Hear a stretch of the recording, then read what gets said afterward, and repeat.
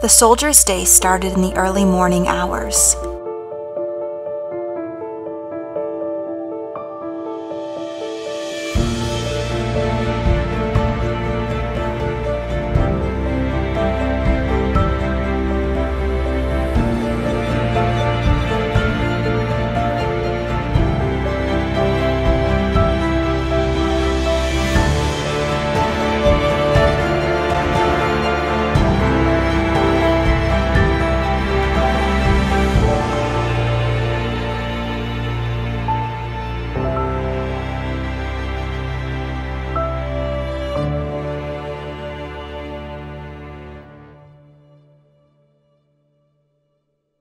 Pilate gave him his orders to attend to crucifixions to take place before the Jews' Sabbath day.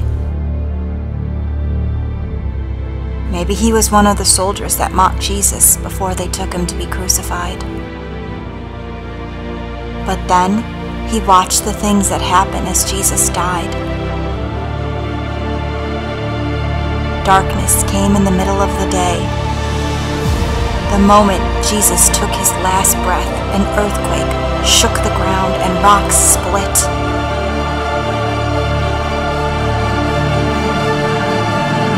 Tombs broke open and holy people who had died were raised to life. When the centurion saw these things, he said, He surely was the Son of God. The Bible does not tell us what happens to this soldier but history tells us he became a follower of Jesus and evangelized for him. The day Jesus died, most of his own disciples abandoned him. A man who worked for Pilate, who condemned Jesus, finally recognized he was the Son of God.